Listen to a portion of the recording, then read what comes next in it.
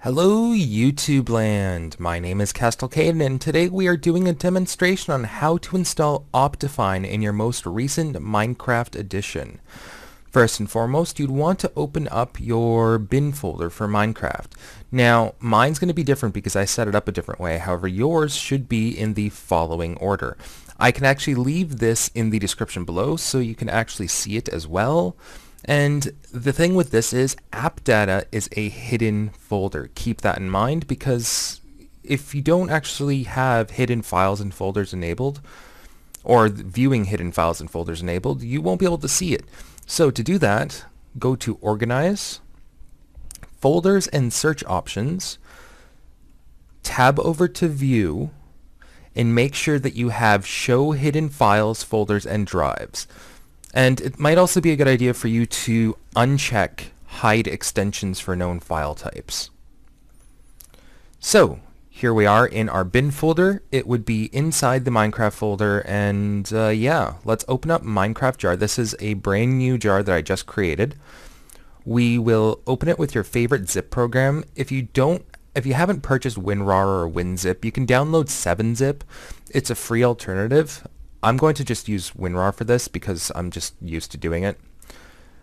The second thing you'd actually want to load up is your Optifine. I will leave a download link in the description below, but if you do a quick Google search, you will be at Minecraft forums. This link will get updated every single time, so you don't have to worry about it. But every time there's a new version of Minecraft, you need to re-download this. You can't use, for example, Optifine 1.4.5 for Minecraft 1.4.6. Just keep that in mind. You'd probably want either Ultra, the Standard, or Light, depending on your configuration. I personally always use Ultra, especially if you have multi-core.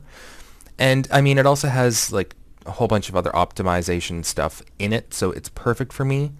Uh, just keep in mind, if it's a little too much for you, just bump right down to uh, Standard Edition and you'll be fine.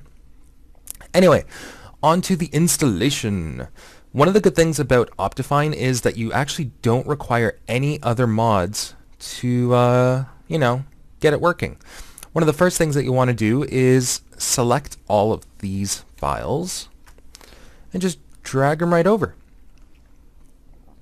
They'll be dragged over. You'll get a bunch of extra files in here. The next thing that you'll want to do is delete the meta or meta-inf folder especially if you're planning on, you know, playing because it will not work otherwise unless you're planning on using it as a multi or online server. But if you're just planning on playing it, yeah, no, delete the meta-inf folder. And that's about it.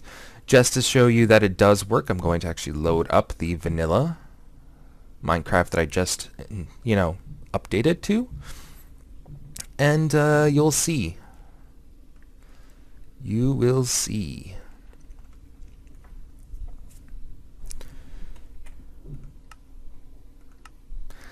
And uh, there we have it.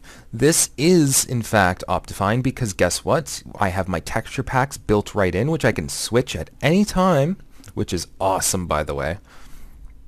And personally, all my other stuff is here. So, with that comes zooming in. With that comes built-in texture packs. With that comes better chunk loading. With that comes higher frame rates per second. If you haven't installed Optifine, I suggest you do. It is simple. It does not conflict with any other mods out there, at least not to my knowledge. So install it and your frame rates will be much higher. Very, very high. Personally, anyways.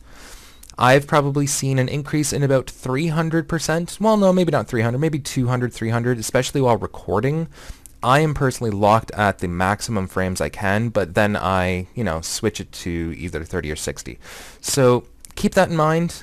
It is awesome. You will love Optifine, especially if it's installed properly. And I just showed you guys how to do that. So what more could you want? Anyways, I hope you enjoyed this mini tutorial on how to install Optifine for your most recent version of Minecraft. Until next time, guys, have fun.